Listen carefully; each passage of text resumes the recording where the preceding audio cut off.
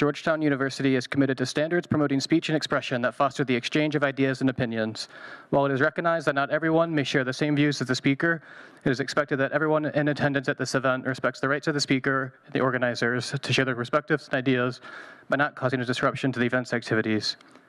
At the conclusion of each panel, there will be a question and answer session during which you may ask questions and engage in dialogue. Please be sure to phrase your comments in the form of a question. In the interest of time, we ask that each person be concise and ask only one question. Please welcome Dr. Joseph Sassoon to the stage.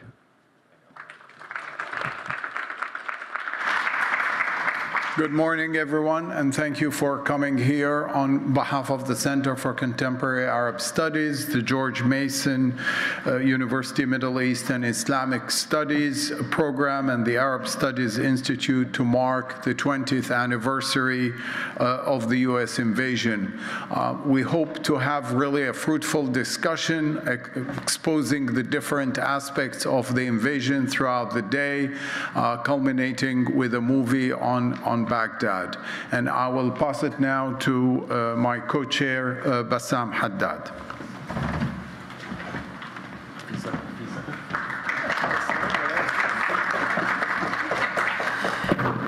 I was worried there was no applause. Can you all see me behind the podium? That's good.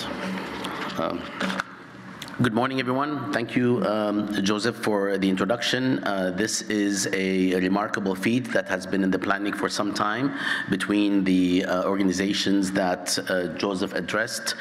Uh, I will be moderating uh, this event. Uh, this is a very important moment for all of us, but it's also especially important for those of us who have been at this institution for many, many years, including uh, people on this panel and other panels, uh, myself included. Uh, this is our 31st year that we've been connected with this uh, center, Center for Contemporary Arab Studies at Georgetown University, which has uh, produced so many of the people that we read, watch, and listen to over the decades.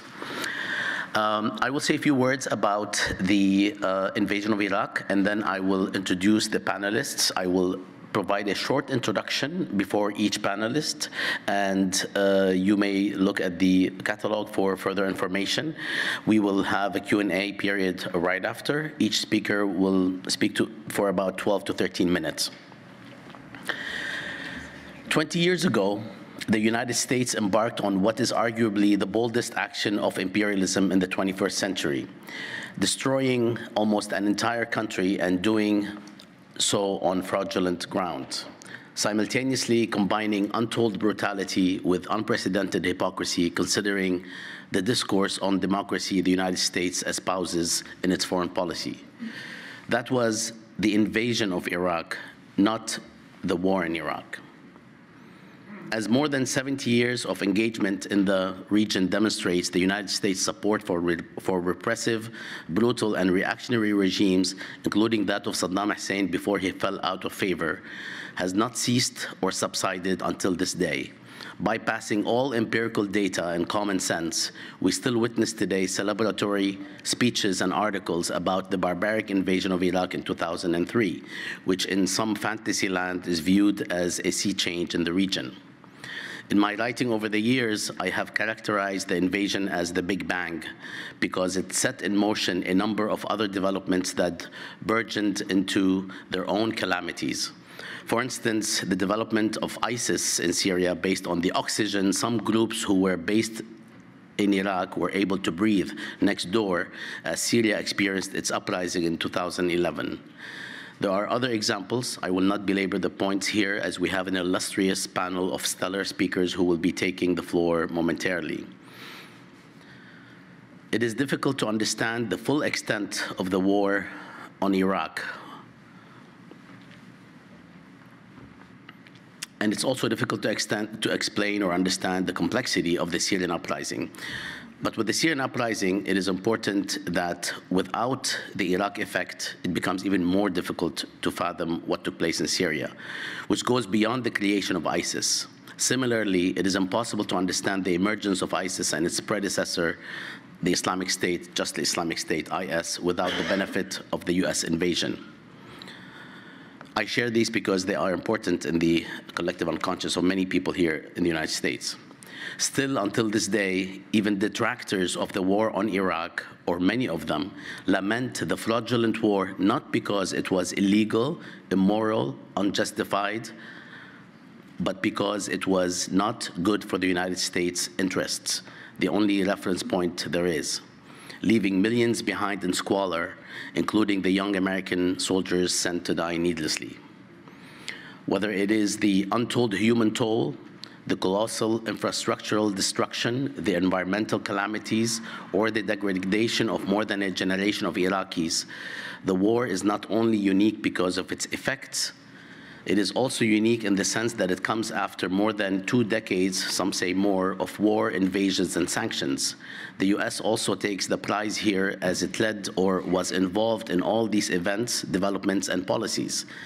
It backed Saddam Hussein in a senseless and costly war with Iran, where we were content to see both parties degrade and destroy each other, as Kissinger said.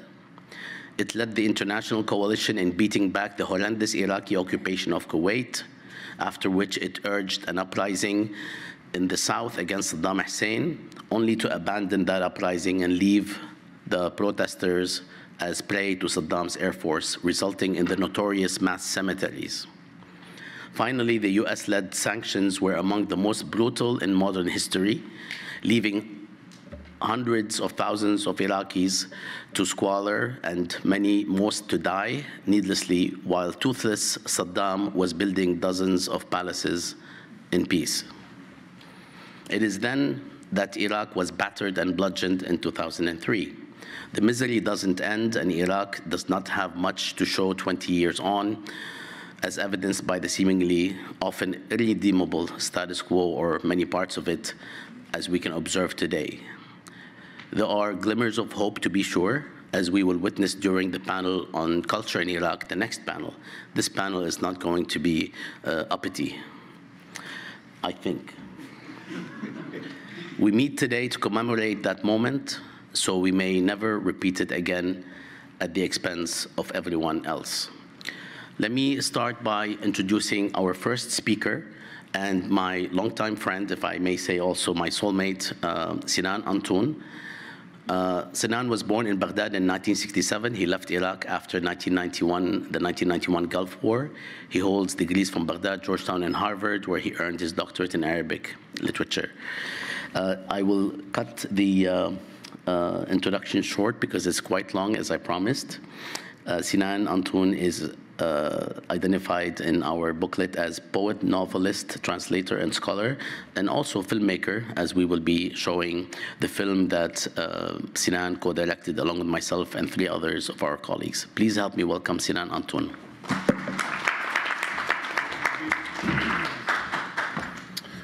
Thank you so much, Bassam. It's, uh, on the one hand, it's, it's, lovely to be back here at Georgetown. As Bassam said, this is where we learned so much, and it's uh, it's an honor to be with with these friends. Uh, it's it's but also bitter because of the occasion.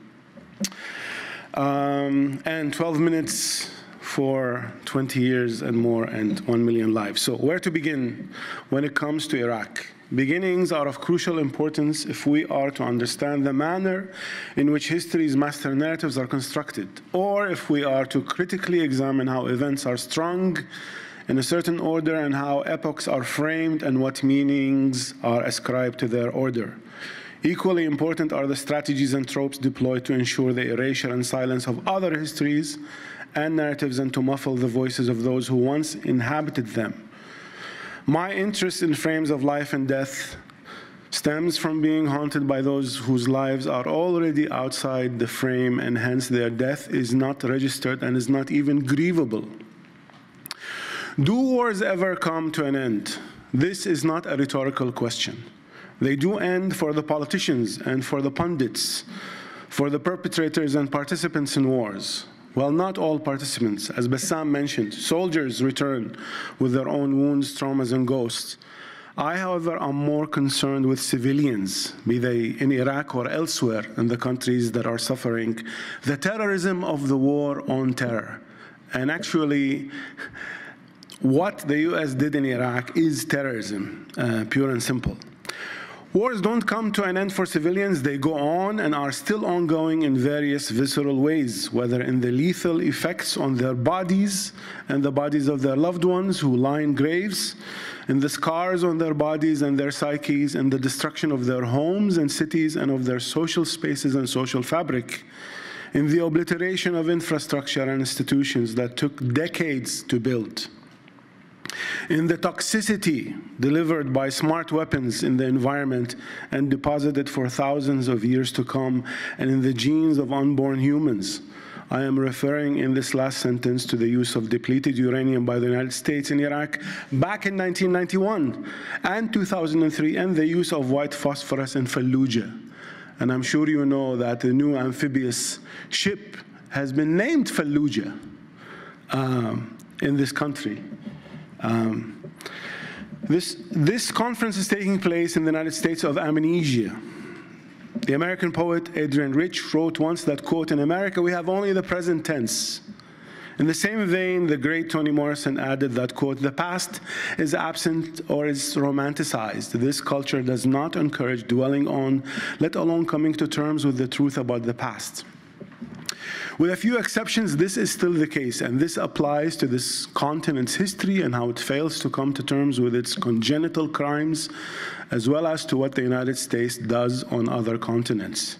When it comes to Iraq, not only to the invasion that took place two decades ago, but to an earlier war, that of 1991, which is completely forgotten, never even mentioned.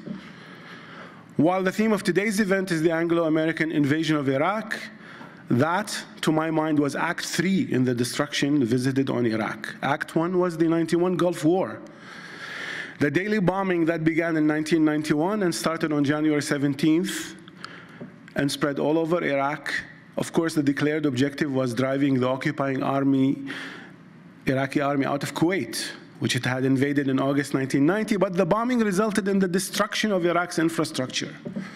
134 bridges, 18 of Iraq's 20 power generating plants, industrial complexes, oil refineries, sewage pumping stations, and telecommunication facilities.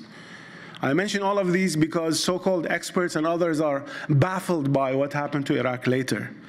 Post-war electricity was reduced to 4% of pre-war levels.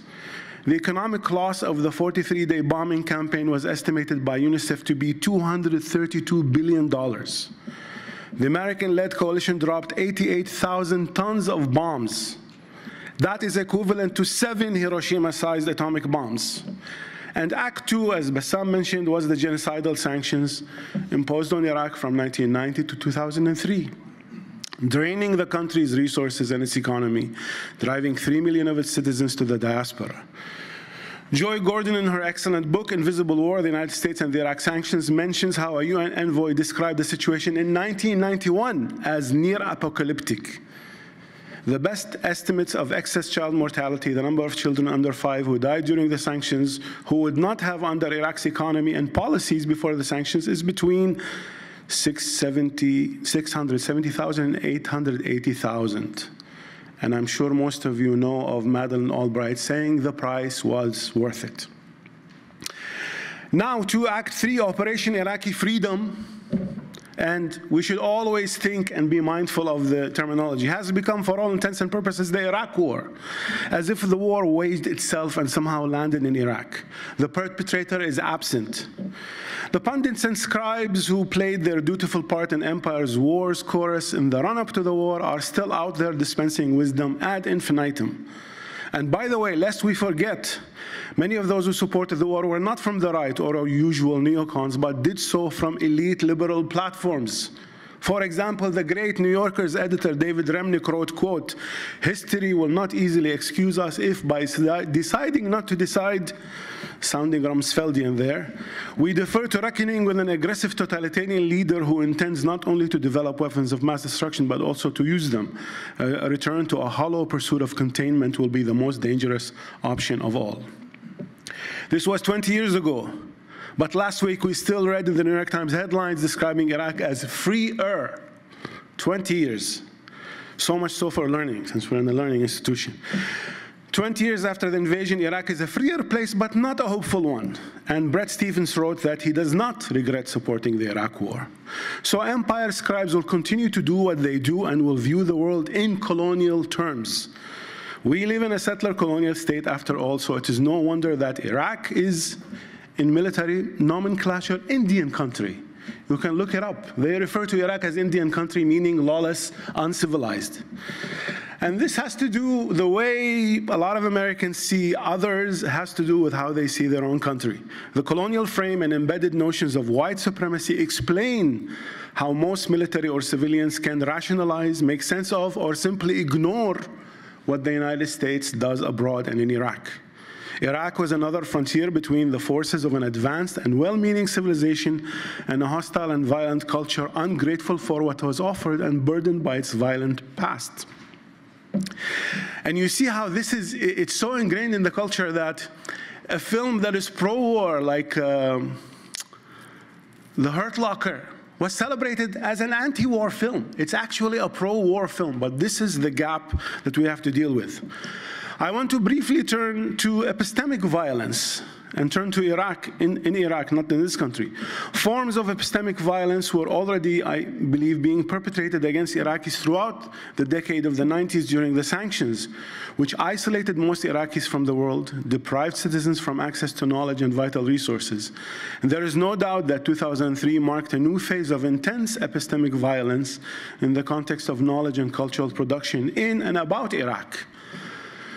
While considerable attention was devoted to the actual destruction caused by the invasion in 2003, especially during the initial chaotic phase, particularly the loss in libraries, manuscripts, collections, archives, and museums, and more recently to archaeological sites with the rise of ISIS, very little attention has been devoted to epistemic violence which is a direct result of the material damage, but not always as easily locatable and identifiable. The modes of constitution and production of knowledge in and about Iraq and how these are shaped or even overdetermined by a constellation of factors should be addressed. And attention to epistemic violence means understanding the ways in which it had become difficult, if not impossible, to imagine, reconstitute, and study certain Iraqs and notions of Iraqiness.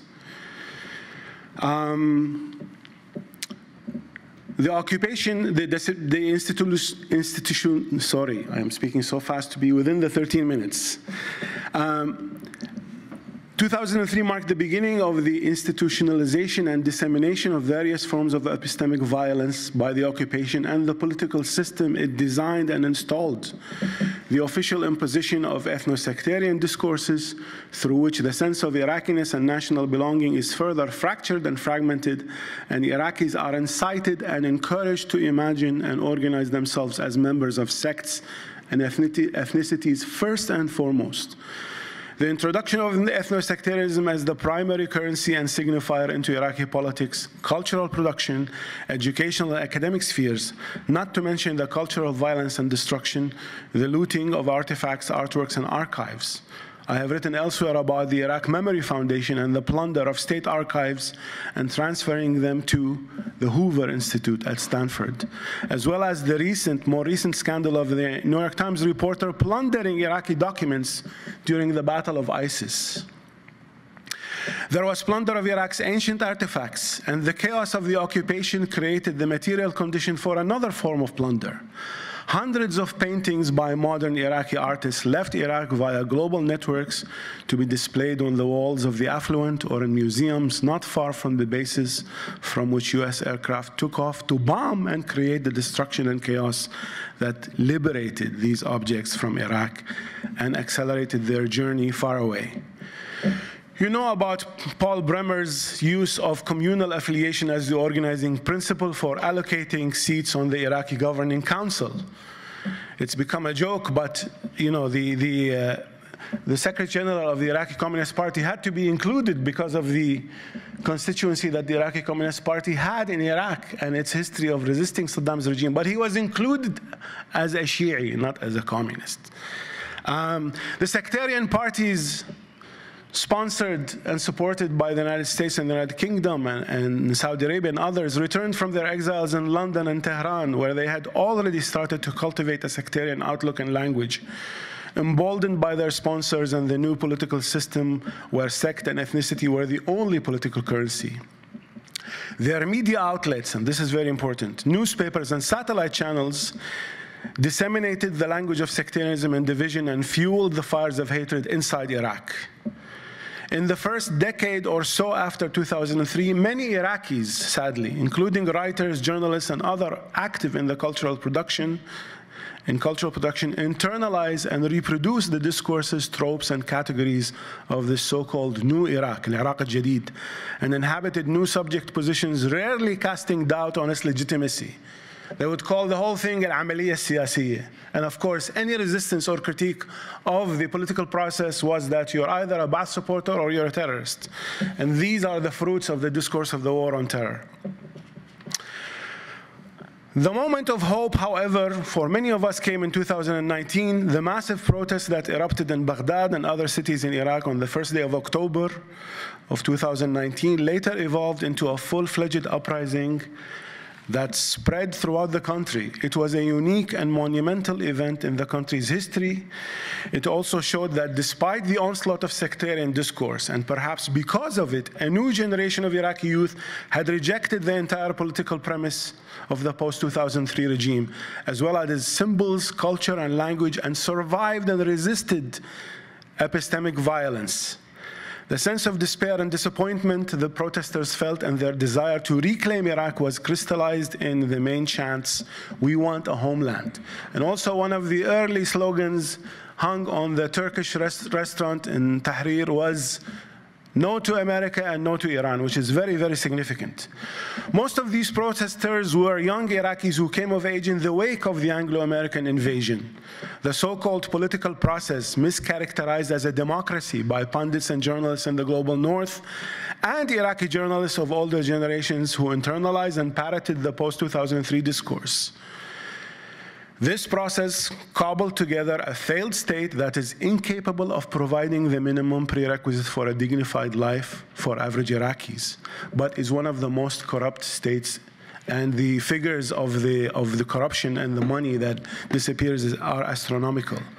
These young protesters lived under this system their entire lives and incurred the heaviest of losses. They were soon joined by syndicates, unions, and there were strikes in universities, colleges, and schools. It seemed to signal a new beginning and what some thought the beginning of the end of the 2003 system, which had lost its legitimacy in the eyes of most Iraqis.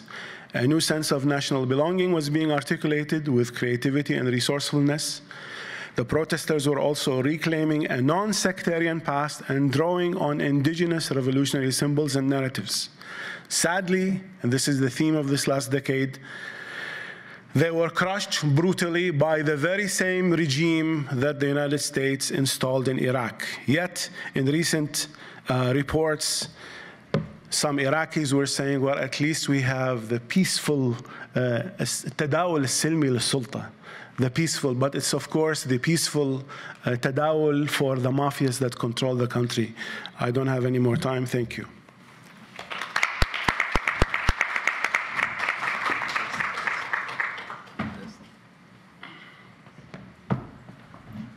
Okay, uh, thank you, Sinan, for your insights. I'm sure we will hear a lot more during the Q&A period and, and the uh, other panels today. At this point, I would uh, like to introduce our next panelist, Professor Rochelle Davis. Rochelle Davis is the Sultanate of Oman Associate Professor of Anthropology at the Center of Con for Contemporary Arab Studies in the School of Foreign Service at Georgetown University. Her research focuses on refugees, war, and conflict, particularly in Palestine, Syria, and Iraq. She is currently writing a book on the role of culture in the U.S. military occupation of Iraq. Thank you. Rochelle. Uh, Thank you to the organizers for inviting me and for the panelists for, for sharing all of this with us. And it's phenomenal to follow um, Sinan Antoun, um, who is not only legendary, but um, he, without any coordination, he sort of, um, he and I are going to be talking about similar things. Um, I do want to start by acknowledging that we are on the unceded lands of the Anacostan Nacotchtank uh, Piscataway peoples and that our university, as well as this country, was built in part by the labor and sale of enslaved peoples. I've been researching the subject of the US invasion and occupation of Iraq since really 2006 when I came to Georgetown. And I'm completing a book manuscript on the topic, and that's the title I've chosen so far. Uh, my research focuses on the cultural training the U.S. military provided to its soldiers, Marines, airmen, and seamen about Iraq, Iraqis, Arabs, and Muslims. And in my 12 minutes today, I'm going to offer a brief analysis of American and governmental knowledge production about Iraq and how soldiers understood this material within the context of their deployments and their, um, and their jobs. In other words, how did they make sense of the information provided to them about Iraqis, and how did they understand the cultural information along with the stated reasons for the U.S. invasion and occupation of Iraq, which were as George Bush said on March 22, 2003, quote, to disarm Iraq of weapons of mass destruction, to end Saddam Hussein's support for terrorism, and to free the Iraqi people, unquote. Many writers and scholars detail policies and practices and its outcomes. But I undertook this project in part because I'm an anthropologist and, and, I thought it was important to understand how those policies and practices were carried out by soldiers on the ground and in, in, in other ways in how power was manifested. And I'll use my slides to um, sort of tell some stories and provide the sources for what I've um, been thinking about and working with that I don't really have time to do in words. Um, these are my, some of my intellectual inspirations and uh, theoretical material. Uh, but my primary sources for this uh, analysis include 10 years collecting publicly accessible cultural training material for U.S. troops, along with almost 90 interviews with U.S. soldiers, as well as 50 interviews with Iraqis.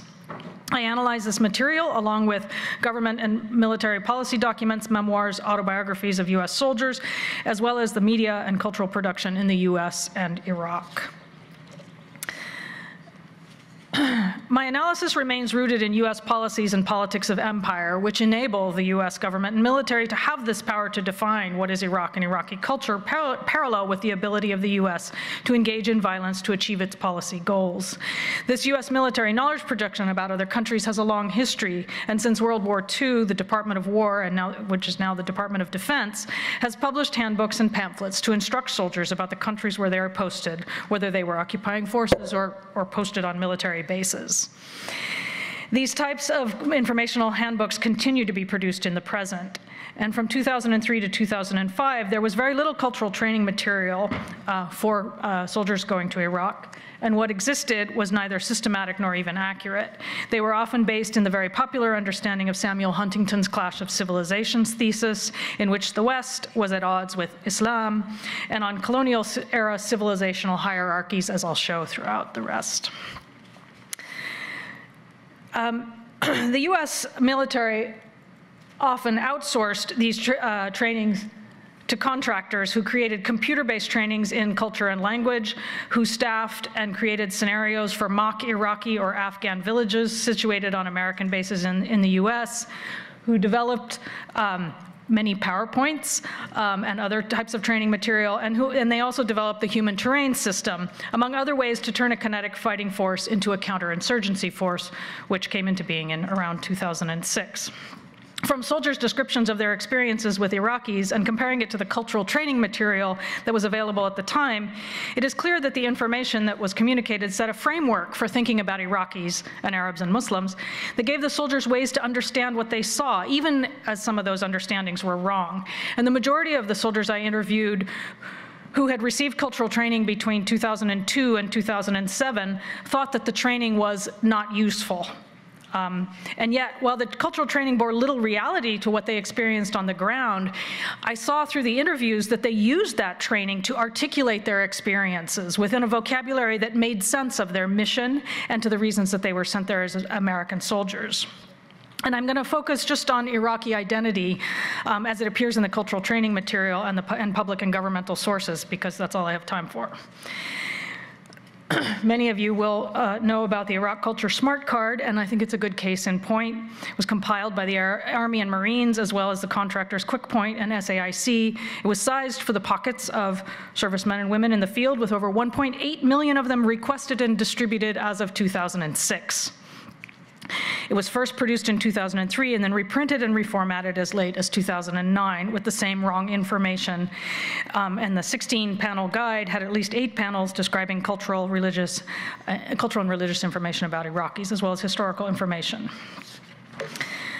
I want to focus on how these the culture smart card sorry about that um, really kind of frames a way to think about iraqis and this one on the left as cultural groups, you can see, if you read this, um, essentially everyone hates everyone else. Arabs view Kurds as Arabs view Kurds as separatists. Tension exists between Shia and Sunni Arabs. Kurds are openly hostile to Iraqi Arabs. Assyrians experience persecution. Chaldeans um, have peaceful relations with Turkoman. That's a good one. And Turkoman view themselves as a marginalized and repressed minority there's a lot to be said here. But what I want to focus on right now is that, for example, a 26-year-old Marine um, who did signals intelligence and who served in Iraq twice, the second time working directly with, in his words, Iraqi officers and civilians, you know, these are the people that were given uh, this material and, and, and, and told to use it, he reported to us the following, quote, I can tell you that the training itself definitely made you feel more comfortable. As far as the cultural training, history type stuff like the difference between Shia and Sunni, it was important because it made me feel comfortable with the basics and let me grow from there. Or it comes in handy when, when the Marine sees something on the news and when they see something about the differences between Arabs and Christians, or Iraqis and Iranians, stuff like that. The Marine can tell their friends and family that they explain to them why there is such diversity in Baghdad and why the Sunni and Shia and Kurdish people are fighting each other. As this soldier and others expressed, uh, expressed, they feel more comfortable, that's his word, even if that knowledge is not relevant to their missions. Rather, the material is helpful for explaining what is actually happening in Iraq, they think. Journalists and other commentators then reproduced this framing that was, that was out there as factual. So journalist Al Kamen of the Washington Post in a July 20, 2006 post described the Iraqi culture smart card, smart card's useful, uh, usefulness and explanatory power. Quote, the latest card, which came out in May, is so good that the section on cultural groups pretty much predicts the bloodshed of the past two months. So you can see how this material go, both gets, gets produced and then gets reproduced in various ways. These groups were not posited as groups, though. this is me now talking. These groups were not posited as groups because they were products of political power, whether that was Saddam Hussein's favoritism or the political organizing that had gone on in secret and or in which took different forms. Rather, these groups were presented as inherent to what it means to be Sunni or Shia or Kurdish, and that this is the basis of democracy and political power in Iraq. So this political vision of Iraqis as uh, sectarian was the basis of US governmental policies as well. And one scholar wrote, quote, Paul Bremer, who administered the Coalition Provisional Authority during the first year of the occupation, formed a 25-person Iraqi governing council in July of 20, 2003, which consisted of 13 Shias and five Arab Sunnis. This echoes what um, Sinan said earlier.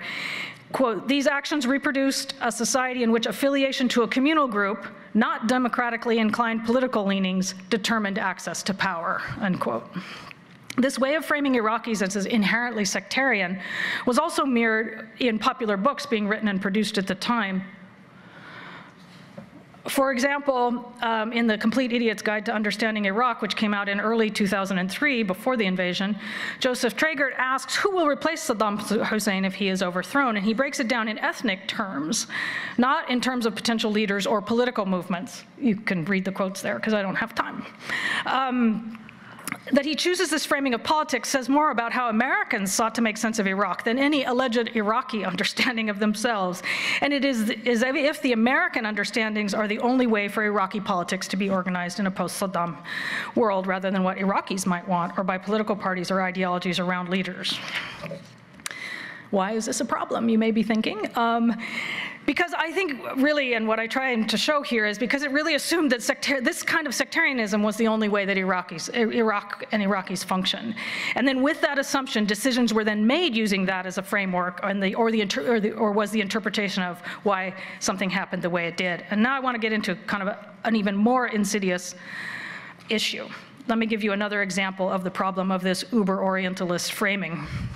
The Army First Division uh, Infantry, the F Army 1st Infantry Division Soldiers Handbook to Iraq, first published in 2003, declared in a section called Arab World View this, that Iraqis' desire for modernity is, quote,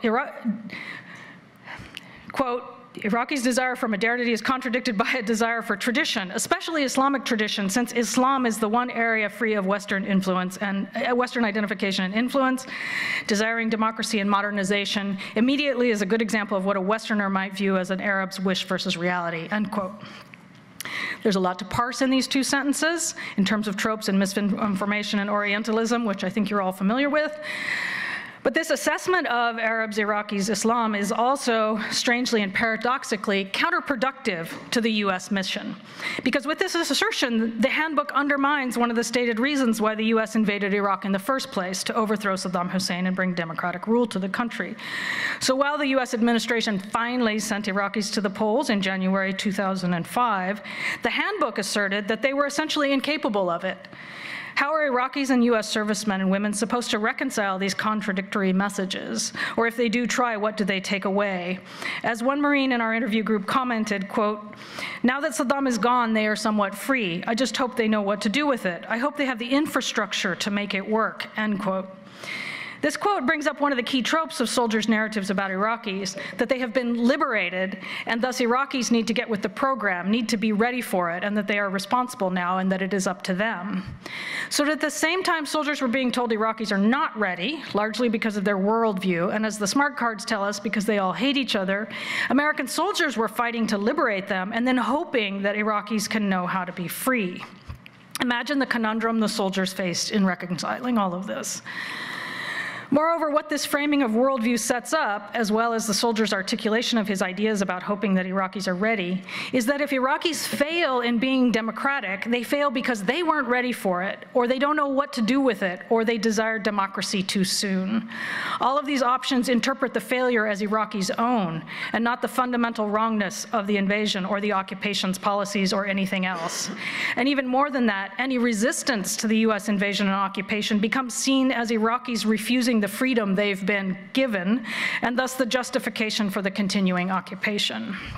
Nowhere in this cultural framing is there any space for a discussion of how the US presence may influence Iraqis. Instead, Iraqis are seen as static, unchanging, and, and, and sort of solidified in these ways of being Iraqi um, that are inherent to their cultural, ethnic, and religious identities. My conclusion what do I see as the takeaway from this very limited um, analysis? As I mentioned at the outset, the ability of the US government to determine and to define the meaning of what was happening in Iraq as a sectarian conflict based on inherent Iraqi identities was all incredibly consequential for shaping American soldiers' interactions with Iraqis and for defining military policies and strategies and for determining US government uh, policies. I'm not saying that there wasn't sectarian conflict, but using it as the primary framework for the creation of, of policy was a disaster for Iraqis, as we will hear and as we have heard, as well as for Americans. And they re reflect long-held histor histories of, of imperial rule. Thank you.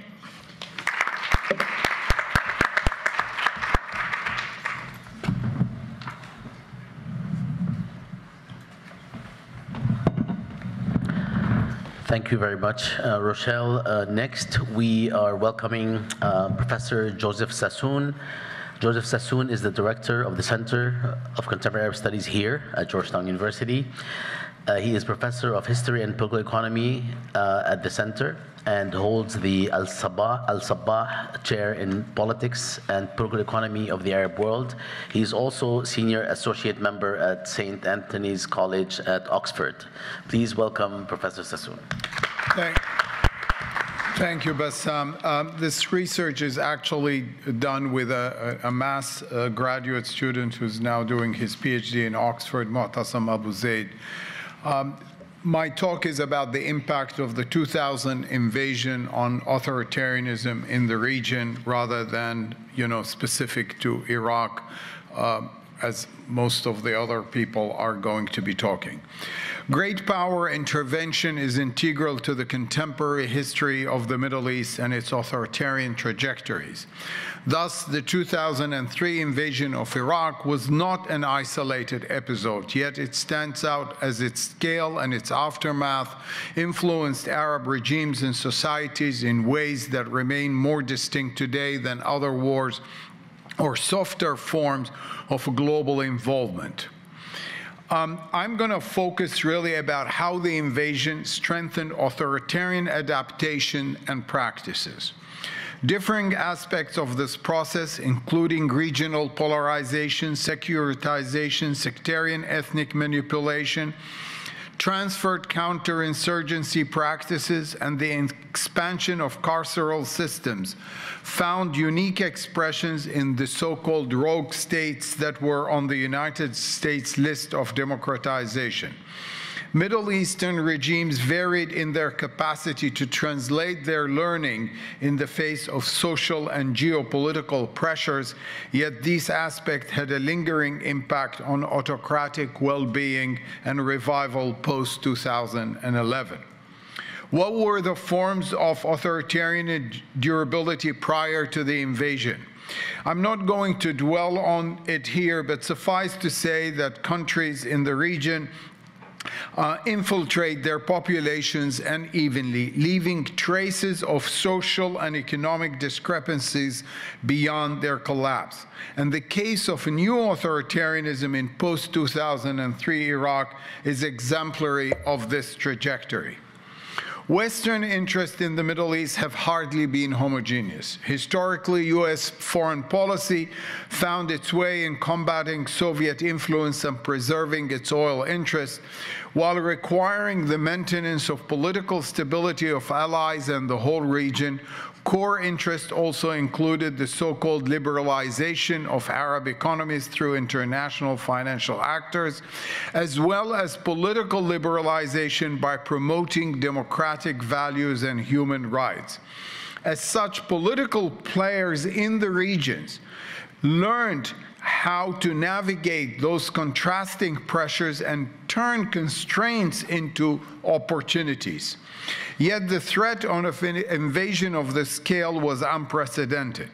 Arab leaders and bureaucrats were equipped to face neither the American hegemon nor popular threats to their rule should they align themselves with the occupying force. The position of senior figures in various Arab establishments reflected a great deal of uncertainty in the immediate aftermath of the invasion. A patent lie of ambiguity, for instance, emerged in Syrian narrative. On one hand, Syrian officials described American action as genocide, terror, war crime, expressed their approval of suicide missions against the U.S. On the other hand, the authorities welcomed a visit from Colin Powell and signaled to observers that Syria was ready to commit to further reforms, albeit gradual and restricted. The most notable and immediate consequence of Saddam Hussein's toppling is perhaps the Libyan nuclear disarmament. This was Gaddafi's gambit to set the record straight with the U.S., particularly given the sanctions on Libya and the U.S. pursuit of banned weapons. But at the same time, Libya denounced the wide mismanagement of Iraqi affairs and so-called bloody operations such as the killing of Qusay and Uday Hussein. Iran doubled on nuclear weapons as, quote, the single durable guarantee against foreign intervention. The regime capitalized on anti-U.S. sentiments in the region, which have partially contributed to the election of conservative leaders there in Tehran to justify its growing domestic repression and military involvement in Lebanon. By the end of 2006, six Arab countries, Algeria, Egypt, Morocco, Saudi Arabia, Tunisia, and UAE, declared their intention to acquire a nuclear capability for civilian purposes as Iran's intentions were revealed. As we all know, while the U.S. was well prepared for a military invasion, it was ill equipped for the administration of Iraq. The occupation gave rise to various ideological groups, and the insurgency expanded and began to unfold into a prolonged and vicious conflict, resulting in the large scale displacement of Iraqis. Despite setting up key institutions of Iraqi democracy, the U.S. had to gradually deprioritize democratic influences as they lost control of the security situation. Two trending polarization took place in the mid-2000s. The first was sectarianization along the Sunni-Shia divide, as we heard, due to the de-Baathification and dissolution of the army, the insurgency, and the civil war. The second polarization was of the anti-American and anti-Iran camps, which did not fall neatly along the lines of Arabs and non-Arabs. Instead, what emerged was more of a new Arab Cold War that revolved over the representation of so-called Arab interests between states such as Egypt, Jordan, and Saudi Arabia versus radical non-states like Hezbollah and Hamas that stemmed from social movements appealing to an Arab Islamic narrative. By 2005, Syria's stronger ties with Iran became critical in repositioning the state's relations and policies with its neighbors, and all attempts to isolate Syria failed. Similarly, Gaddafi gained significant confidence following the civil war in Iraq. He defended the resistance in Iraq and by 2007 backed the Iranian nuclear uh, project, countering his own stance of a few years earlier.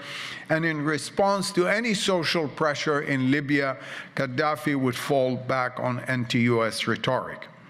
Iran, of course, emerged as the major winner of the invasion its authoritarian standing fared better given its ideological, economic, and geopolitical prominence following the invasion. Iran actually achieved its two main goals. One, there were no more territorial threats from Iraq. And two, there was an ally government of Iraq sustained through several spheres of influence, such as loyal politicians, covert networks, and militias. And ironically, the US got rid of Iran's two major regional nemesis, first, first the Taliban and then Saddam Hussein. The GCC regime's endeavor to remain intimate uh, ties with Washington against the demands of their respective population.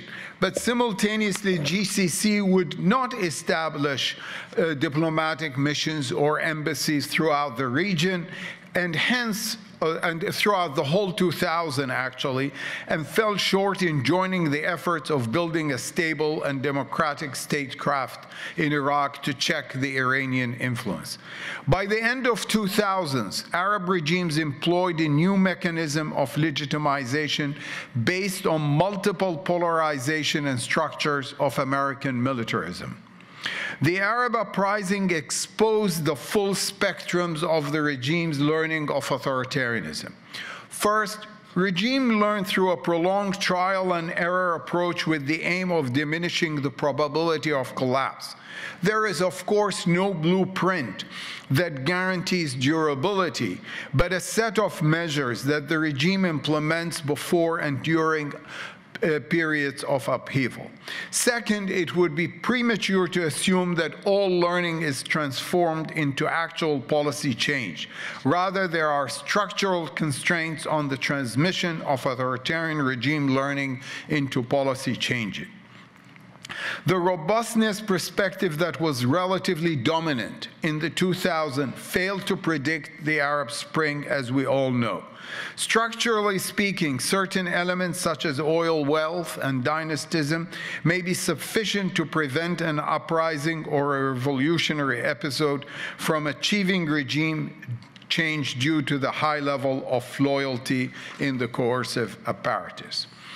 After 2011, regi regional polarization evolved into a vacuum in global leadership. The result of these new alliances and contentions was the further securitization and militarization of all camps involved in what emerged as a new institutional assemblage of regi- regional security. Key learnings took place here in terms of intelligence and security cooperation. The Abu Ghraib model inspired a number of regimes to adopt supermax prison as part of their primitive, punitive measures.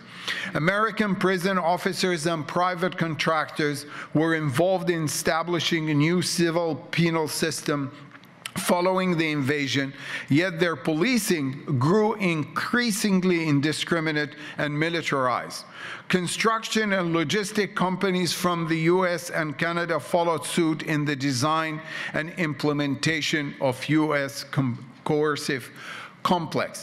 And while the official number of prisons in the region is estimated to be over 1,600, many informal prisons were constructed by non state actors such as Hezbollah, Al Qaeda, the Nusra Front. Sparking sectarian conflict became a key tool for these groups to thrive, something also used by other regimes as well as a defensive securitization tactic. ISIL learned from Hussein's authoritarian rule as a considerable number of its leaders were former regime figures and senior military members. Ultimately, regime change is not simple. Authoritarianism is rising globally and is still in good shape. Likewise, the most recent Bar Arab Barometer survey involving 23,000 participants in nine Arab countries and the Palestinian territories showed that the majority of citizens across the Arab world are losing faith in democracy as a system of governance to deliver economic stability. Let me just conclude. Overall, it could be argued that the invasion sustained the durability of authoritarianism in the Middle East, albeit in disproportionate ways. Each state was liable to domestic and international pr pressures to reform, ushered by the fall of the regime in Baghdad. Yet, they all adapted over time as the repercussions of American intervention and dynamics of instability and war in Iraq unfolded. In fact, it was the countries designated by the US for democratization, Iran, Syria, Libya, that experienced the most authoritarian upgrades. Additionally, the geopolitical polarization between the anti-American and anti-Iran camps served as a justification for increased securitization measures. Some of the spillover effect might overlap with the other two major wars around the same period, the war in Afghanistan and the larger global war on terror. The 2003 invasion was a critical juncture that altered both the U.S. hegemony and the regional balance of power for the following two decades. Middle Eastern regimes were already remarkable in their authoritarian resilience, and this resilience allowed them not only to survive threats in their vicinity, but to reap the state of insecurity left by the U.S. and consequentially exhaust its predominance in the region. Thank you.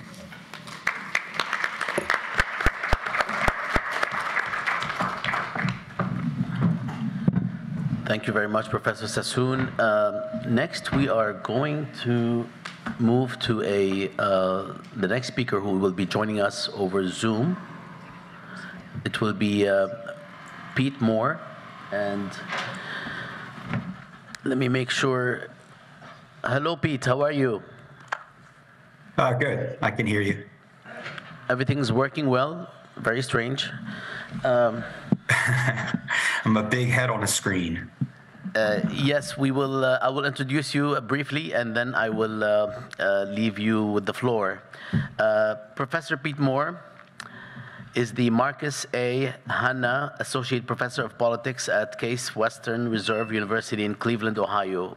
From 2021 to 2022, he was the visiting Kuwait Chair at the Paris School of International Affairs, Sciences Po. He's also, like everyone else here, an old, older, old, well, I don't want to say old colleague because he's, you know, it's not, I don't want to be ageist, but he's a colleague of ours for many, many years, and I'm very happy to uh, have him join us. Uh, please help me welcome uh, Professor Pete Moore.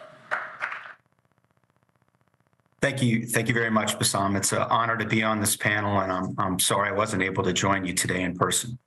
Um, prior to the U.S. invasion, um, my interest in Iraqi politics evolved through a research project uh, to examine trade uh, changes in trade between Jordan and Iraq.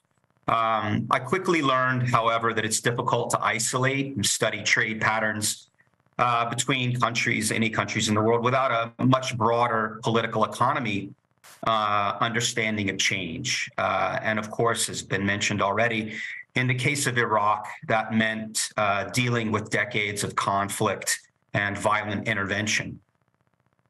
Um, working with a colleague, uh, Chris Parker at Ghent University, uh, we borrowed the concept of, an, of a war economy as a way to conceptualize uh, the complex shifts and struggles within Iraq's political economy before and after the U.S. invasion. Uh, this term war economy, just briefly, was developed in the middle of the 20th century to describe uh, the marshaling of national resources to uh, to pursue interstate war. But by the 1990s, and particularly the early 2000s, the concept of a war economy had been applied broadly in the global South to try to understand market exchange within a context of violence. Uh, Christopher and mine's application of an Iraqi war economy was more specifically meant to capture a, uh, a political economy in which the use of violence uh, was used to secure resources and assets, and those assets and resources were used to support the means and instruments uh, of violence. So what I want to do for the rest of my short presentation is to uh, briefly unpack the three sort of analytical lenses that we use to understand this war economy, and then connect these to uh, some primary legacies of this war economy that we've seen uh, in the decades since and today. The first lens that we adopted was um, a historical understanding, uh, which is and this has been mentioned before, the invasion in 2003 was not a complete historical rupture uh, in Iraq's political economy. Uh, it was not a tabula rasa, but we started our analysis in the late 70s uh, and early 80s, specifically with the onset of the Iran Iraq War. Um, the narrative that we adopted and, and crafted was to acknowledge a steady unraveling of central authority within Iraqi public institutions that were at the core of the country's domestic economy. Um, and this is an unraveling which we could we could chart and and evidence within trade patterns in politics before 2003. Um, as well, this trend in political economic decentralization was largely mirrored uh, although we had less evidence of this, was, was largely mirrored in a similar decentralization of security and coercive institutions uh, in Iraq. And I'm going to talk more about this uh, when I get to legacies. The second major lens that we adopted in trying to understand this war economy was a regional and transnational lens uh, that Iraq's domestic struggles took place within a larger regional political economy. Prior to 2003 and in the immediate years after, uh, we focused on the linkage between Jordan um, and Iraq. Uh, these were these were each other's largest trading partners. Uh, this relationship was as equally important to political ec economic elites in Baghdad as it was in Amman, in, the capital of Jordan. We trace these connections uh, before and after 2003 along Iraq's major road networks and import export nodes. And we showed that there was a fairly significant correlation between uh, violent American uh, intervention in parts of Iraq along these roadways and around these import export nodes. And indeed, many of the groups that resisted the American intervention also concentrated their effort to control these import nodes and important road networks uh, in within Iraq. The third lens that we adopted was to try to not simply focus on the types of predation and violent expropriation that was perpetrated by elites and their external sponsors, but also on how everyday Iraqis and Iraqi society in generally had been responding to this violence and this dislocation for decades. Um, the way we put it was that uh, Iraqi Baathists dominated this system, but clearly not under conditions of their own choosing. Before 2003, Iraqi civilians and parts of society had responded and adapted to this violence and intervention. We could call these survival strategies, avoiding, adapting, engaging. Um, and we tried to argue that these forms of survival could also be seen, sadly, as forms of agency that were helping perpetuate this war economy, um, keeping your head down, keeping your family safe, uh, can also involve acquiescence to the very injustices of the war economy.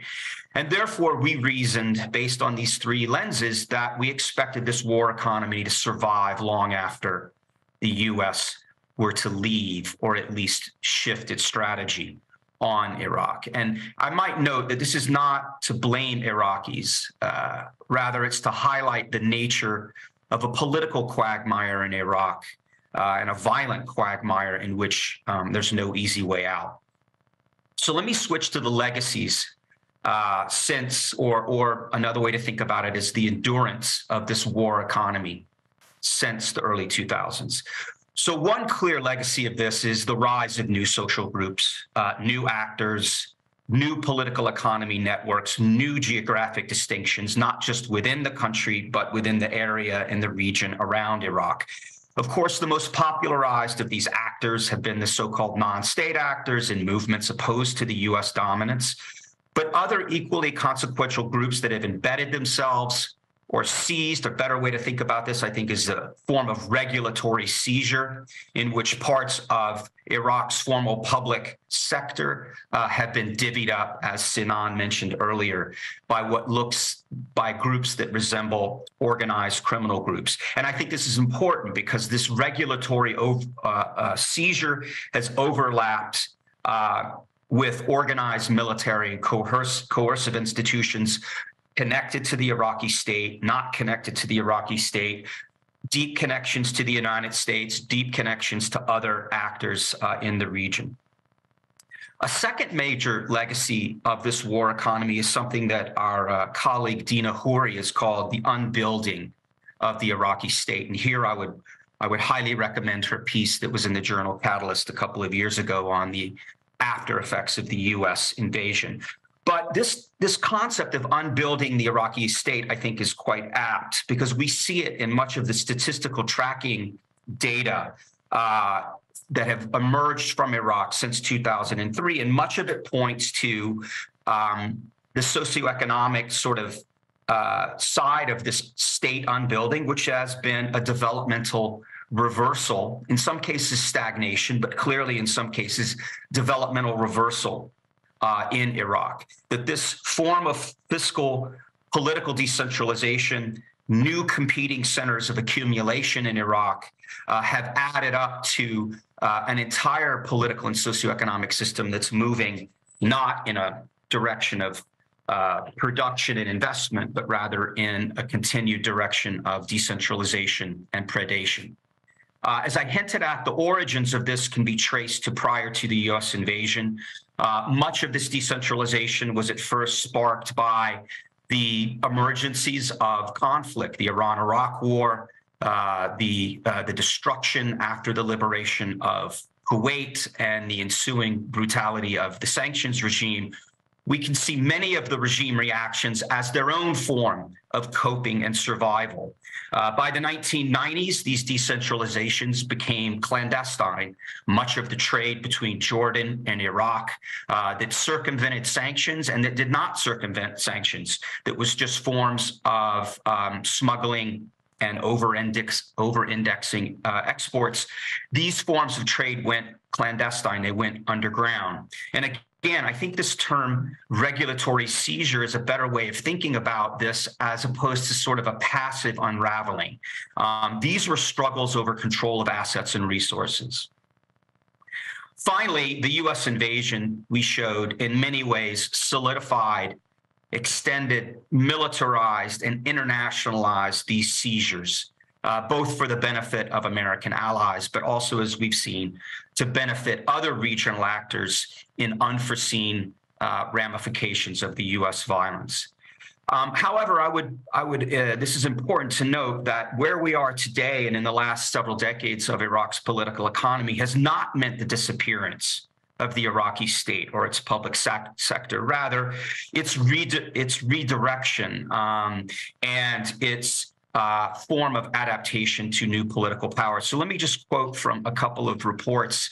Uh, the first is from the London School of Economics about public sector employment that I think is quite important, which is that, quote, between 2003 and 2015, the core public sector in Iraq expanded from 900,000 to more than 3 million, providing approximately 42% of all jobs. Public sector employee salaries are the highest expenditure item in the government. So these forms of regulatory seizure have accompanied new forms of resource distribution in Iraq that are defined in ways that are not centralized, that are defined in local and uh, uh, that correspond to local forms of power. And then here's a 2020 World Bank report that I think is very antiseptic, but I'll conclude on this because I think it's quite damning for where Iraq finds itself today um, and what Iraqis have to deal with. Quote, although oil wealth has allowed Iraq to obtain upper middle income status, in many ways, its institutions and socioeconomic outcomes have more closely resembled those of a low income, fragile country. The Iraqi education system, once ranked near the top of the Middle East and North Africa, now sits near at the bottom. Iraq's Iraq's rate of participation in the economy is low, and the country has one of the lowest female labor force participation rates in the world, low levels of human and physical capital, deteriorating business conditions. Iraq has also one of the highest poverty rates among upper middle income countries. And on a purchasing power parity basis, GDP per capita in Iraq today is barely higher than it was in 2003. Um, it's very antiseptic, but it's clear that Iraq, the ramifications of this war economy have been broad and deep, and unfortunately, those effects do not show much dissipation in the current context. And on that point, I will conclude. Thank you.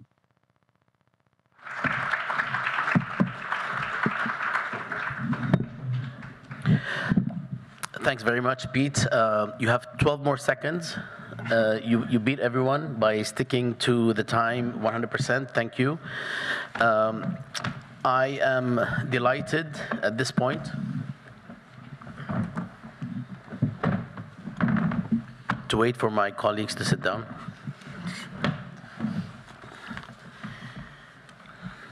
I am delighted at this point to introduce our most junior and a remarkable member of this panel, and because his bio was the shortest, I'm going to read it all. Omar Sirri, Professor Omar Sirri is a research associate in the Department of Politics and International Studies at SOAS, University of London. He holds a PhD in political science from the University of Toronto. His doctoral dissertation, Scarecrows of the State, an ethnography of security checkpoints in contemporary Baghdad, was named co-winner of the 2022 Malcolm H. Kerr Dissertation Award in the Social Sciences from the Middle East Studies Association. Mabruk Omar, uh, please help me uh, welcome Professor Omar Sirri. Sirri. Sorry, it's, it's Sirri. Uh, you have to stress on the R's, but I have a genetic defect. I, I cannot do that. This professor wasn't in the bio.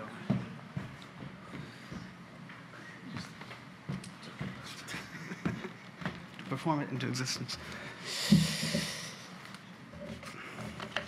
Great. Uh, thank you, uh, Ms. Sam. Michelle, I have to say, uh, it's great to, to learn what this gesture now means and this gesture, but I have to ask you, what, what does this gesture mean among white women? I have no idea what the.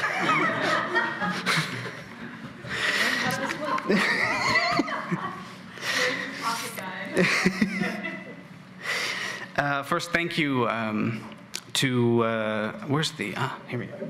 Perfect. First, thank you to CCAS, uh, George Mason uh, University, and of course the ASI, and particularly to uh, Bassam Haddad for the invitation to be here today. It's an honor to, uh, to join you all.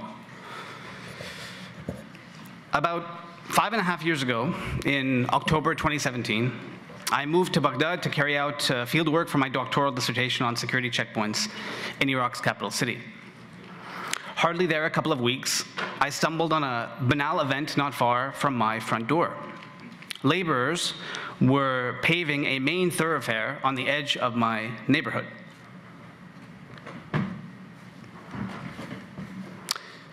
I had only just arrived, but the roadworks felt important. Residents of Baghdad had for years criticized each and every post 2003 government for doing very little to improve their everyday living conditions. Electricity provision was poor, air quality was worsening, a range of urban infrastructures like water supplies and sewage systems were consistently neglected. What have they built since taking power? Is a rhetorical query commonly posed by citizens as they mock their politicians. This is to say nothing of the swellings of physical, uh, swellings of physical insecurity that have persisted throughout this entire century. Ebbs and flows of violence often anticipated by those who know viscerally what calms before storms really feel like. Residents in my neighborhood insisted to me with some combination of shock, anger, and relief that this was the first time since the invasion that a road was being paved in their area. It was, at the very least, a pleasant surprise. One they figured was occurring because an official in the local municipality was paid, incentivized to prioritize their neighborhood for rudimentary infrastructural improvement. Either way, it was a win. The fresh asphalt was liberating for drivers and passengers alike, particularly among youth itching to put pedal to metal. Years of unfilled potholes brought about by scorching climate and conflict disappeared in 72 hours. Sedans, SUVs, minibuses, all of them began to fly across the long stretch of road, embracing a vehicular freedom hard to come by in a city that in recent years has been increasingly plagued by vicious and unforgiving traffic jams. Weeks after the road renewal, a school bus was dropping students off in the neighborhood one afternoon. A black sedan came speeding in from behind and sought to pass the bus. Its driver had not realized that the bus was sitting idle because a young 12-year-old boy, who I'll call Jasim, was, uh, was getting off. As Jasim stepped out in front of the minibus to cross the street, the car driver didn't see him in time. He swerved at the last possible second, first striking the young boy and then crashing left. The community consensus was clear. Jasim was lucky to survive. His multiple broken bones, the evidence. A few months later, in early spring, I left home and spotted something new laying in the middle of the street a speed bump. Or rather, half a speed bump, extending from one side of the road, seemingly cut in the middle. Made of heavy rubber, the black and yellow obstruction was bolted into the street. Later in the evening, I ran into Abu Ahmed, another local resident, and asked him about the speed bump. He quickly recalled the accident, the bad speed conditions. It's Mahmoud. He lives in the house in front of it. He's the one who laid it down, Abu Ahmed told me. He has young kids. He's, he's worried about them when they're out playing. This is uh, taken a month uh, later. As you can see, uh, he realized he needed to finish the speed bump, so added the, the second half. Spatial transgressions are commonplace in Baghdad. Checkpoints and concrete walls, barriers and barbed wire. Such materials have, for, the most, for most of this century, conditioned mobility across Iraq's capital city. Variable government initiatives have in recent years sought to remove lots of this matter. Pronouncements made and actions taken, most often in the run up to federal elections. A top down wink and nudge to voters that everyday life which for so long was defined by incessant insecurity, was slowly but surely becoming more livable. That it actually was not seemed less important to the vote seekers than givers. Those whose participation in post 2003 elections has veritably declined at a steady clip. The story of this speed bump, I confess, is a far more banal type of obstruction than Baghdad's checkpoints, which have long been my focus of research. But I suggest it offers an avenue of reflection into perhaps less what has been destroyed over the last two decades, and rather what has and has not been built.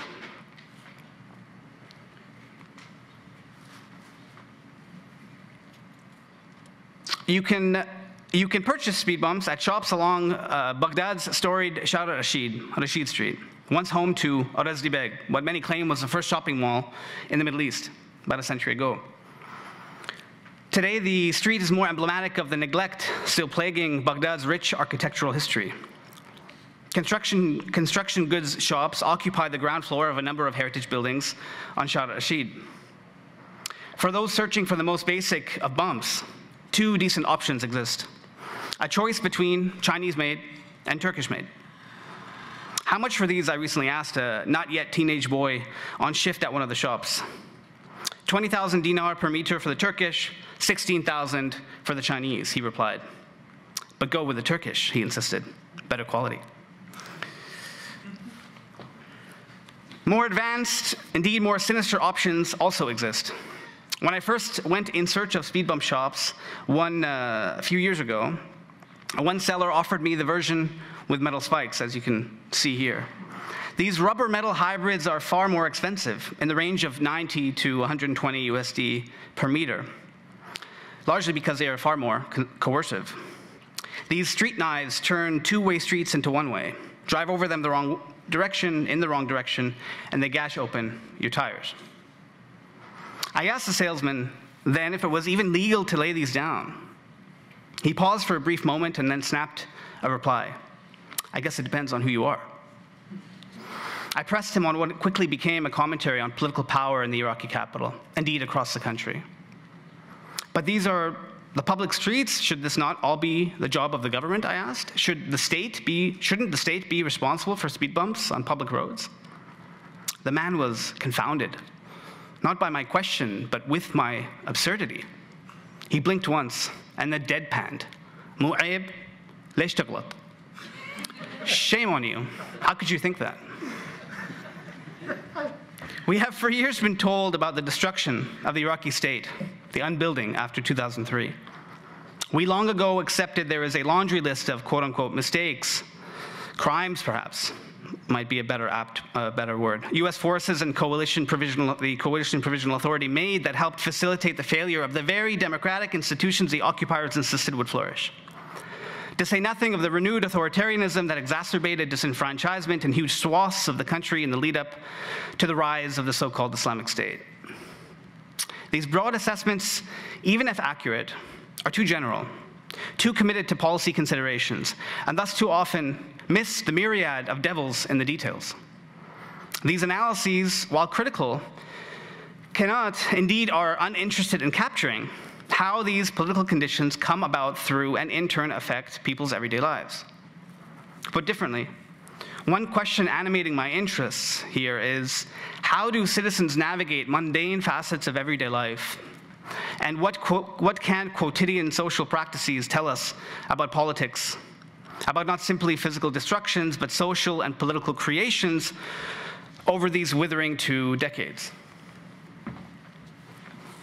A central answer revolves around the vacating of the public, public interests, and public goods as a praxis of Iraqi governance and political life. we are well aware of the free market ideologies that were introduced by occupying authorities and diasporic elites and embedded into state institutions after 2003. We are well aware of the corruption and embezzlement and money laundering that has helped pilfer hundreds of billions of dollars from public coffers. We are well aware of how newly established private banks have for years been the main beneficiaries of US dollar auctions that have literally been a license to print money, helping bring about astronomical windfalls that are in turn implicated in the shocking heights that property prices have recently reached in Baghdad and elsewhere. That these political economic practices persist is certainly objectionable, giving us a small sense of the mechanisms through which a coterie of elites have made billions on the backs of the people they purport to represent. But such a focus still does not tell us very much of the social effects at street level, literally and metaphorically. And I think even serves a far too neat analytical binary between elites and masses that in recent years has gained greater credence. At the same time, we often accept at face value pop- popular expressions that speak to us viscerally. الدولة فاسدة, الدولة ضعيفة, ماكو دولة. The state is corrupt, the state is weak, th- there is no state at all. Similarly, such lamentations, even if they ring true, still do not always capture what these conditions actually look like, how they work, what they help to create. By turning to the banal, it is not simply that we get a better sense of the nuances of politics. Rather, I am suggesting that mundanity, as inconsequential as it may seem, is far better at capturing the kinds of governance practices being created, the new forces of rule that surely have a much longer half life than the spectacular violence that almost always gets far more attention. If the state is non existent, or at the very least does not work for the people, the public, how are necessary governance practices and provisions ascribed to it carried out? Mahmoud's experience offers a clear, uh, a clear answer. If I want to protect my kids, I'm gonna buy my own speed bump. Three years ago, and I'll, and I'll close here, hundreds of thousands of Iraqis, predominantly youth from central and southern Iraq, engulfed the streets of their towns and cities, calling for the downfall of the political system through which they are governed and misgoverned. The slogan of the movement, Nri Watan, we want a homeland, was powerful. It spoke to so many, what so many thought they had lost. Indeed, what so many born in the aughts had never felt they ever had. I wonder, though, if this literal translation misses the mark on what is being called for, what is being politically fought for. The revolutionaries, to be clear, were not under any illusions of what they were up against. Were not uh, under no false consciousness of what they were fighting for. I instead mean to suggest that what may be more at stake in their unfinished struggle for a homeland is a battle for a public. As a conception, as a collective, as a body for which government anywhere is to work. Years of for profit governance have privatized, in the most expansive sense of that term, social life. The road back to a semblance of public is an arduous one. Its speed bumps are but one worry. To the extent that those protesting for new futures can and will bowl over still more daunting obstructions will likely depend on the form and function of their collective action, on which any sustained public force is always built. Thank you very much.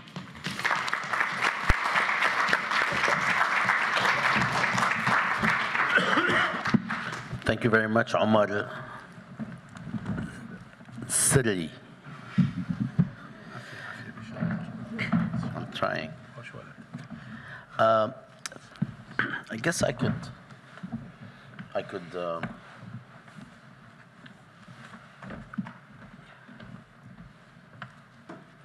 thank you all, thank you. Hello. Assalamu alaikum. Okay. Thank you all very much for um, joining us uh, for this first part. We will move on to the Q&A period. I have a few questions that have been uh, sent to us. We are also taking questions from uh, the audience and uh, online.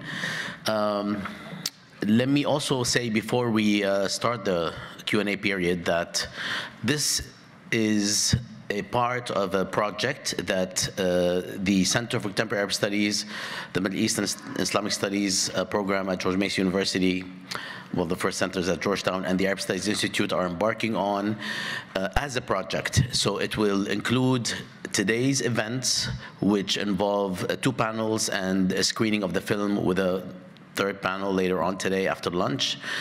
But it also involves a series of podcasts that have been uh, initiated already, uh, one of which was with Kali Rubaii on the environmental uh, consequences of the occupation of Iraq and so on, uh, and others as well. It will also involve, within a short period of time, after the conference is concluded and the podcasts are concluded, we are we're hoping that this will happen in April. A resource portal online that will include not just what happened during this project, but it will also include a myriad of resources on the question of Iraq uh, since and before 2003.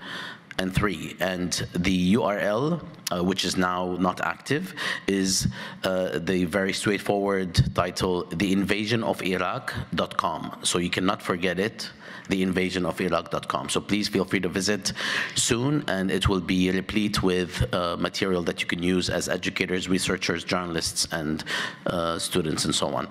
Uh, let me start by um, actually uh, asking a uh, general question that I hope that uh, most of the panelists can uh, address. And it is the following. After this question, I will actually sit down and I'll ask the rest of the questions from my seat. I'm just letting you know so you can just be prepared. Why is it so difficult slash political to get any kind of estimate on the number of dead from the invasion, I'm assuming, and after?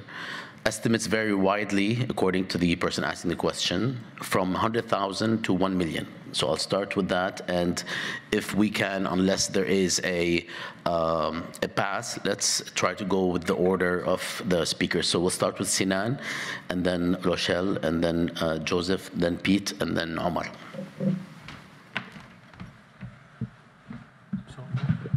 Everyone will answer this question? You can choose if you want to answer. It's not. Uh, I mean, briefly, uh, you know, at the early days of the war, General Tommy Franks was asked about Iraqi civilians, and he said, we don't do body counts. Uh, I think a very short answer is that Iraqi lives don't matter, but another answer is that actually, even the conditions in Iraq, which all of us on the panel have tried to show, is that this is impossible even to to count. Also, there is a problem in the way that the deaths are counted because there's also the those who die indirectly because of the war. But ultimately, Iraqi lives don't matter. That's what I tried to say about the frame. And saying simply, we don't do body counts, um, they don't count. I would only add, um, I think in the global war on terror, there was a way of um, really separating people into sort of terrorists and combatants and civilians. And when terrorists or combatants died, um, that was anybody who, and this particularly happened under the Obama uh, administration, they were called military aged males, and that was anybody from sort of age 15 to 60. And so if you were a man and you happened to die in a US attack, um, you were oftentimes just categorized as a combatant. And so that also complicated the ways in which counting became uh, ways to show American success on the war on terror and to um, sideline also civilian um, casualties and, and the incredible damage that happened. I think that you need to figure out what Sin, uh, Sinan was saying about the indirect result is really critical because of lack of, of medical aid. But also during the Civil War, don't forget what was going on between the different militias and groups, and a lot of those definitely did not get counted. So I would say whatever the number is, the, the direct and indirect, my guess is, is higher than any estimates you see.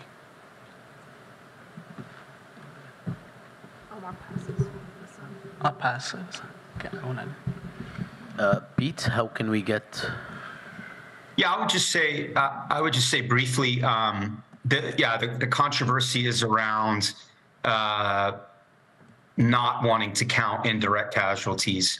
And I would just say that, you know, in, in the state I'm living in, Ohio, we had that horrible uh, chemical spill in this town called East Palestine. That's how they pronounce it here. Um, and already, people in that community and people in Ohio recognize that the costs of that spill and the physical, mental, and social effects will extend for decades in that part of Ohio. And many of the law claims and, and, and claims for accountability will come years from now. But, and so I think it's quite um, extraordinary that when the U.S. military also pollutes other parts of the world, um, that accountability uh, is is avoided, and I think that's part of the politics for why there is so much pushback over uh, having indirect casualties.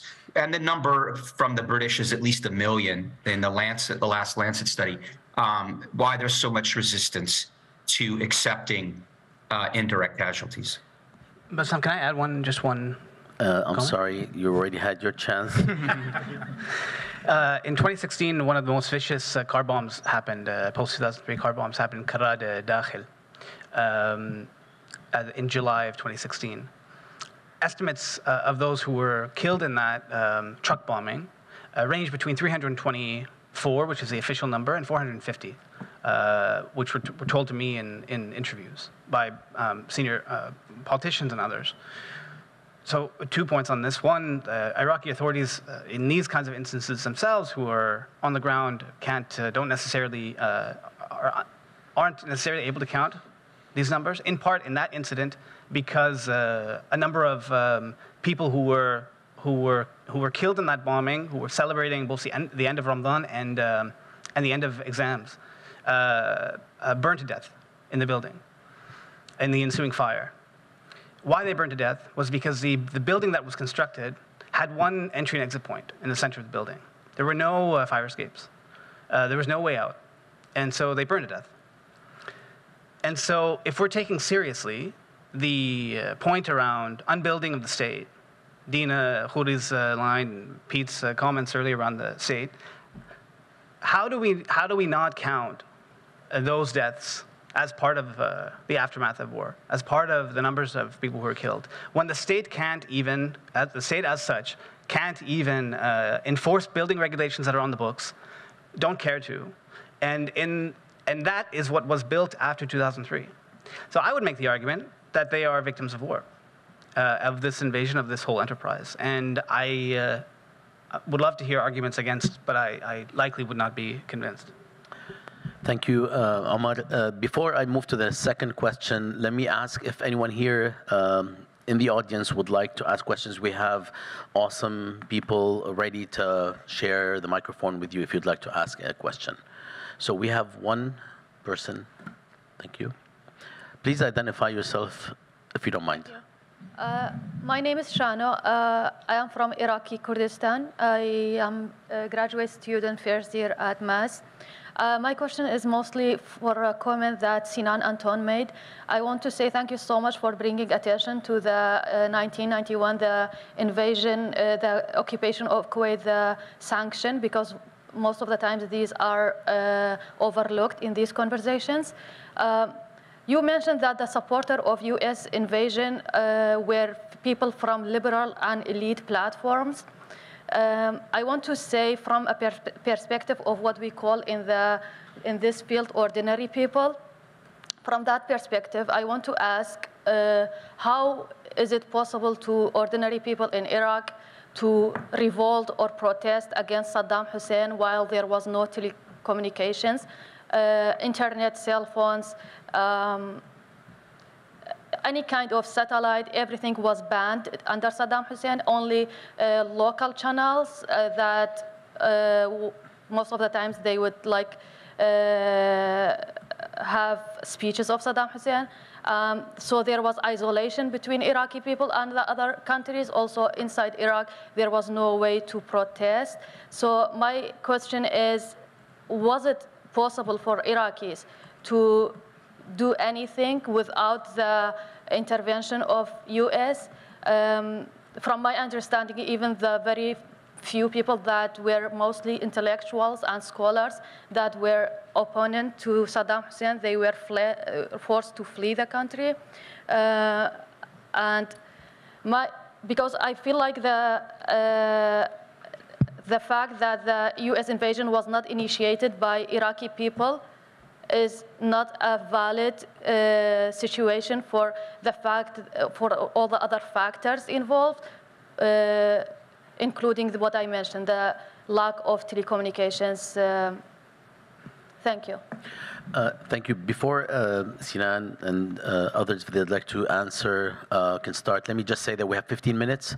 So I would like to ask of the um, panelists to just be mindful of that so that we can accommodate. We have uh, at least two more questions and perhaps another from the audience coming in. Go ahead. Yeah, uh, um, sorry. Uh, don't, don't, don't, touch, don't touch it. Oh, sorry. Uh, uh look, uh, if you sorry to toot, if you watch our film later, you realize that, of course, there were some Iraqis in 2003 inside Iraq who took the US seriously and believed that maybe this will help them build a better country.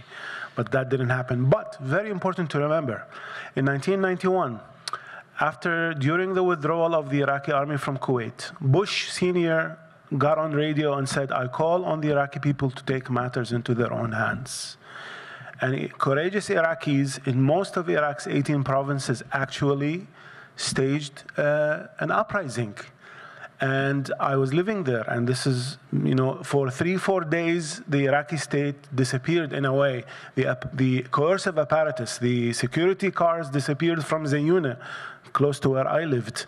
Uh, there was nothing officially. But in the ceasefire agreement signed in the Safwan tent, the Iraqi army asked for, a, a, agreed to everything. Yes, yes, yes, yes. They just asked the Americans to use uh, helicopter choppers. Uh, they asked supposedly to transfer their wounded, and General Schwarzkopf agreed. But later he was shocked that those choppers were used to completely crush and decimate the uprising and kill tens of thousands of people who were buried in mass graves in southern Iraq.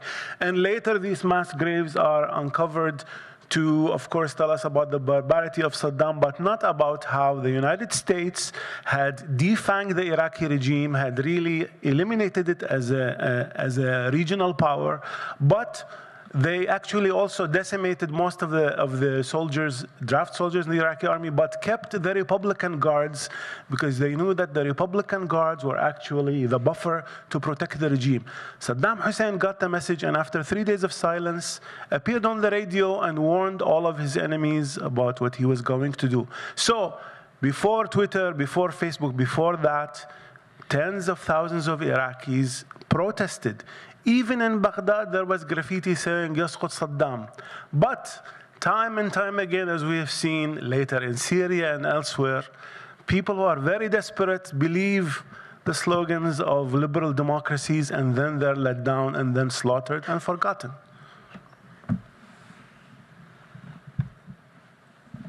Sorry, All it's too long, but No, absolutely. Uh, we will move to the second question, which is also broad, and feel free to uh, pass uh, if you would like to. Uh, and it's actually pretty uh, interesting. Didn't the 2005 constitution enshrine sectarianism along the Lebanese model and uh, market it as representative democracy in quotation marks? Would Iraqis need to rip that constitution to get a fresh start? Sinan, do you want to? No. Sinan passes? No. Everybody's passing? I'll, uh, I'll say Omar. something very briefly. Um, to me, what's important about, about the, the document is the process. So the uh, constitutional process that occurred in 2004 and 2005 was, uh, uh, was led primarily by the, by the US uh, government and a coterie of Iraqi diasporic elite who wrote, uh, uh, first of all, wrote the Transitional Administrative Law, the TAL, the Interim Constitution in 2004, which was supposed to be the basis for the process in which a, uh, a permanent constitution would be written in 2005. What ends up happening is that the, um, the most of the TAL text, which was written by a handful of people, led by the Americans, became, uh, for the most part, the bulk of the Iraqi constitution in, in the permanent constitution in 2005. Uh, the final compromises of that document were made uh, quite literally in, in okay, the kitchen of like a handful of uh, Iraqi political parties, uh, uh, you know, led by uh, the prominent uh, Shia political parties and the Kurdish political parties, and a single Sunni political party. I mean, this is what, again, let's not forget the ethno-sectarian context that was kind of created at that po- point, where they brokered a kind of bargain. Uh, for the kind of last uh, issues of debate for the, for the document. The final version of that document was not released to the public in the referendum in, two, in October 2005 until two days before the referendum. Right? So the idea that this document uh, was representative of, uh, of the constituent power, if you take constitutional theory seriously, of the constituent power the people, right, it, it simply was not. So uh, we can debate the ways in which ethno-sectarian uh, governance was you know, enshrined in the document itself or um, you know, more informal, a la, a la Lebanon and the you know, Lebanonization of the country in the same, I mean, these comparisons are very clear, very uh, apt and pertinent, but it's the process of that constitutional, the constitutional process uh, and the kind of the joke that it was, frankly, uh, how short it was. There was a moment which they could have extended that process to make it longer for more buy-in, for more political participation amongst a whole host of uh, uh, parties, and they chose not to extend that process. And it is, I don't think, any coincidence that four months after the passing of that document, less than four months, you had the massive bombing of the uh, Askari Shrine in, 2000, in February 2006, which is seen as the kind of, uh, uh, you know, the the bigger spark of, uh, of, of, civil strife between parties uh, that led to um, the kind of descent of further discontrol or uncontrol of Baghdad for the better part of a year and a half. Just to add to that, the whole concept was so faulty from the beginning that you're going to have a parliament based strictly not on political affiliation, but strictly on, on, on, on, on uh, sect or religion. And interestingly, in the first draft that was presented, whoever did it by the population came back with 51% representation for women because that's the percentage of the population. But of course, that was changed, dramatically reduced, but not the other uh, allocations to Sunnis and Shias just to add quickly, Bassam, if those are interested in further understanding that whole process, Zaid Al Ali has a book on, on this, uh, yeah. was involved in the, uh, in the process uh, in 2004 and 5. Highly recommend, uh, recommend the book. Thank you very much. Um, we have one more question, and then if there is anyone in the audience, I have to stand up because I can't see this side. If there's anyone, this looks really weird. I'm going to sit down. Is there anyone on this side of the room who would like to? Okay, so we have a question from Fida, and then a final question for Rochelle from on the online um, uh, audience. I'm going to ask the first question to uh, Rochelle, and then we will we will end with uh, Professor Adely's question. Uh, so the question to you, Rochelle, and before I, I, say, I, ask it, let me just say that in response to the question here, this afternoon uh, when uh, Sinan and I and our colleagues will be uh, screening the film about Baghdad, we all were in Baghdad. Uh, let me just say that while the country was burning and the destruction was all around us, the reporters from the New York Times and Chicago Tribune and other newspapers were meeting with us, trying to ask us for leads of where to go, what to do, and who to speak with and all they were interested in was the Iraqi constitution and when will it be um, uh, uh, you know drafted. All right so uh, the question to Rochelle this was supposed to be a, an ironic uh, comment, yes. Uh, the question to Rochelle is, how many scholars were involved in the human terrain system in Iraq? Which kind of scholars, political science, anthropology, etc., found it useful for their academic career? And um, after you respond, uh, Fida, we'll, we'll go to your final question because we do need to um, uh, conclude uh, so that Coco doesn't uh, hurt me. Yes, and thank you, Coco, who opened uh, us from the back um, for making all of this possible. And I also, just as a note, love that there's flowers here because if you ever go to a big event in Iraq, it's always surrounded by flowers. And so it's a very nice touch that it feels like we're kind of in solidarity with our Iraqi, um, with the Iraqis that we are, we are talking about. Um, about the human terrain systems. There's lots of books and lots of articles written on this. Um,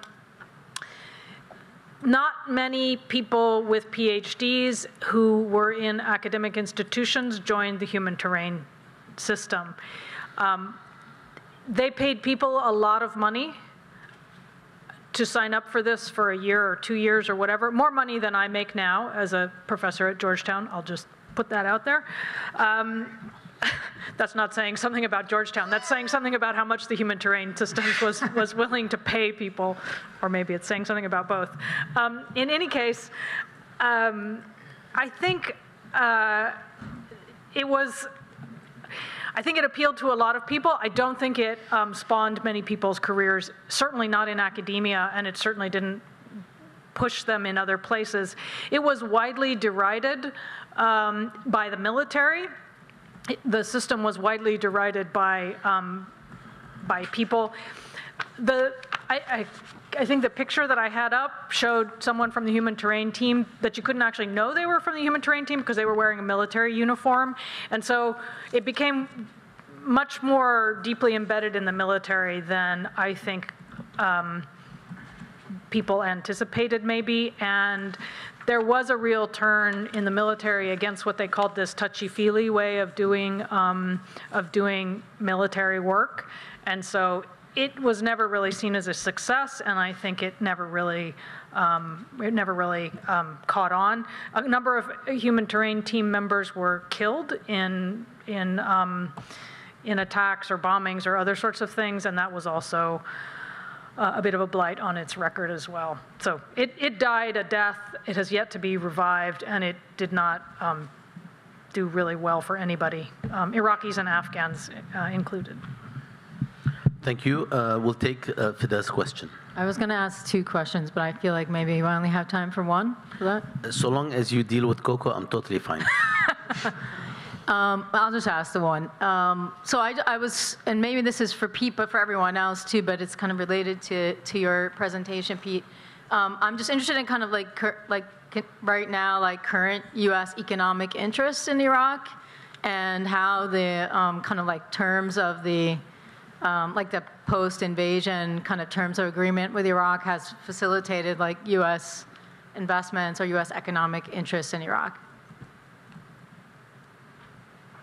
Um, that's a good question. I'm not the the, part about U.S. involvement in Iraq that I uh, followed most closely is uh, not actually investments, but rather American um, connections to the Iraqi Trade Bank and the effort of the United States to monitor and control um, uh, U.S. dollars that flow in and out of the country, and the suspicion the Americans have that the Iraqi financial system is used by countries and interests that the United States sanctions. Um, and I think that that relationship is very deep. Uh, it remains one of the aspects of American um, involvement in Iraq's uh, financial system. Um, but as far as the broader investment, no, I haven't followed that as as closely. Um, Um, The economic winner of the war is not the US in 20 years later, it's China. Uh, And, and then, uh, as I mentioned, politically Iran, but definitely China. If you look at the size of the contracts, especially in oil, which is the main commodity, it's the Chinese and not the Americans.